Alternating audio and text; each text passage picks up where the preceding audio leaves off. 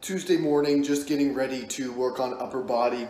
Overhead presses on deck today. Now, this will be interesting because this is my second time around on the overhead presses in this block, and I should be calculating out one week away of progressions from actually uh, matching my previous one rep max on the overhead press, which is encouraging because I've got about seven or eight more weeks of progressions to tackle on the overhead press, which means that I should clear a pretty significant PR on a lift that has been around in my programming for quite a while. So we're gonna get under the bar, assuming that I smack this calculation today.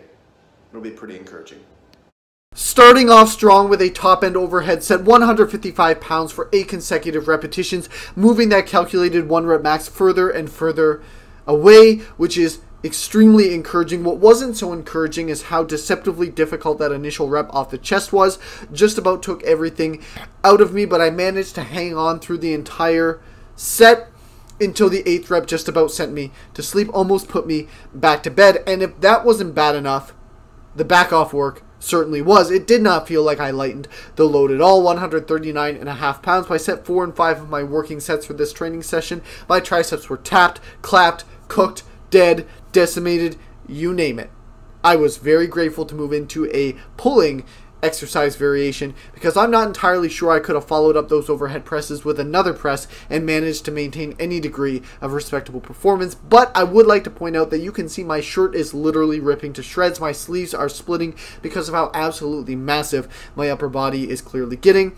That's actually not the case. I just am wearing a very old shirt, and when I bought the shirt, I was much smaller, and now I am much bigger, and so the shirt is old and falling apart, but I don't want to get rid of it just yet. It's one of my favorite shirts, so maybe we'll have to turn it into a sleeveless. And check out this exercise variation name change. I used to call it a JM press, but I got in trouble from one of my friends because apparently although similar, it's not really a JM press. A JM press is much more specific with the execution, and therefore it would be disrespectful to JM Blakely to call it as much. So I had to come up with a different name, and we couldn't find anything that looked like this execution. So now we have the Graham Guillotine extension. Take it or leave it. It's going to be famous one day, maybe. We'll see but I do like executing that variation. It absolutely hammers the back of the arms. Thursday morning, 197 and a half pounds on the bar, eight repetitions per leg for the walking lunge. Now, this, this is progress. This makes me feel good. For those of you just tuning in who are maybe not as familiar with some of my training preferences, lunges top the list of one of my favorite exercises. There's just something about stacking the plates up on a barbell walking lunge that just makes me feel like an absolute certified badass. So seeing progress on this variation warms my heart and also absolutely demolishes my glutes, cooks my lower body.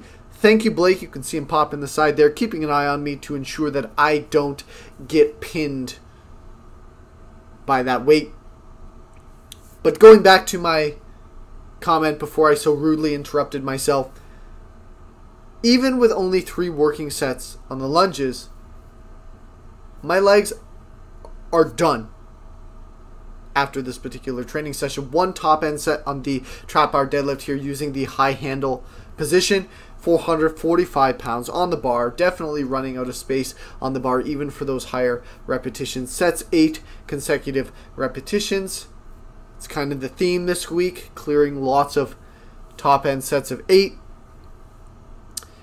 And I felt confident the whole way through these. Definitely felt like I had more in the tank, which is encouraging to say the least. Although a little bit frustrating because it also means that I'm likely coming close to having to get a new trap bar. And look at me just fooling around, looking like a fool as well, trying to figure out how to do a hang clean.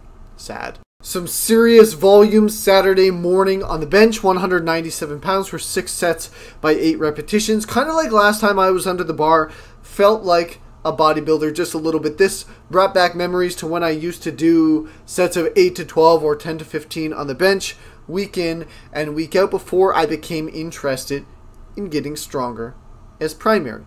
It's a good feeling though to get some significant volume in under the bar on the bench press in particular. Some wide grip rows, definitely losing my grip on these high volume sets with a pretty reasonable weight considering the rep range being 15 to 20 repetitions. Some lat press downs here. These are far from challenging right now, but I'm enjoying having an easy exercise variation in because no exercise remains easy forever as you continue to progress forward with the load increases over time. And then we got a top end set.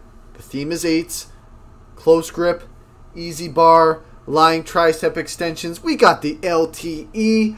For those of you who know me best, you know this is one of my favorite triceps accessory exercises. 122 and a half pounds for a top instead of eight.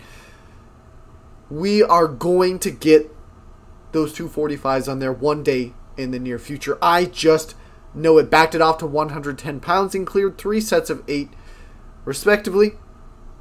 And those back off sets were super smooth. I felt encouraged.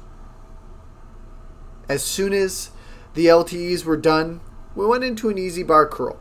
Strict form, 85 pounds on the bar, nothing too crazy. Two sets of five repetitions. Because I'm actually curious if I focus on it a little bit, how strong I can get my barbell curl variations. We'll have to see, considering I never really have prioritized them before.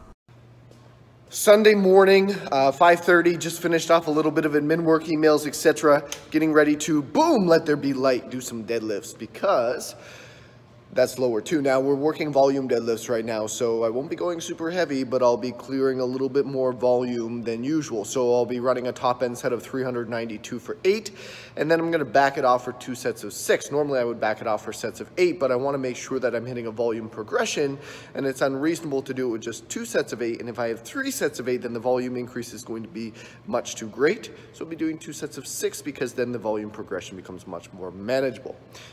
We call that math and math is exactly what we did in advance, and it worked out exactly how we planned in execution. 392 pounds on the bar, a smooth top end set of 8 repetitions. Watching this back, it's quite evident to me, quite apparent, that I need to focus on wedging more effectively. I'm not really drawing my armpits over the bar as would be further optimal. So something I'm definitely going to have to work on. Regardless, I pulled this top end set of eight and felt great and then transitioned into those two back off sets of six repetitions with 276 pounds. And what's interesting is even though they were not heavy by any stretch of the imagination, it's quite evident that the supporting musculature for the deadlift is not used to this type of volume because my posterior chain was fatigued simply based off of the increased volume. I do find this incredibly curious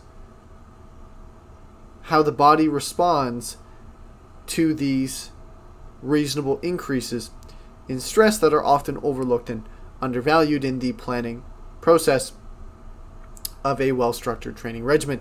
Some heavier step ups, five sets of five with 125 pounds SSB to the 18 inch box, and then finished off with some glute ham raises a great accessory exercise through the posterior chain. 10 pounds held at chest level here for 5 sets of 6 repetition.